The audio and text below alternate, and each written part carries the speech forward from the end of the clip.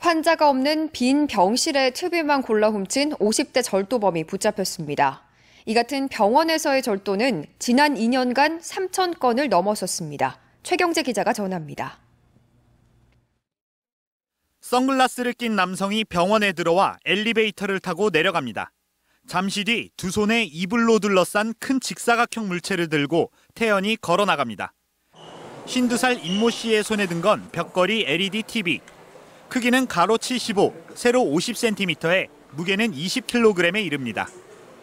임 씨는 새벽 시간 한 병원 빈 병실만 골라 70만 원 상당의 TV 석 대를 훔쳤습니다. 사람들이 마음대로 이렇게 출입할 수 있는 곳이라는 그런 생각도 들고 그래서 마음을 먹고 그걸 훔- 훔치게 된 것입니다. 창원의 다른 병원에서는 한 남성이 병실을 이리저리 서성입니다.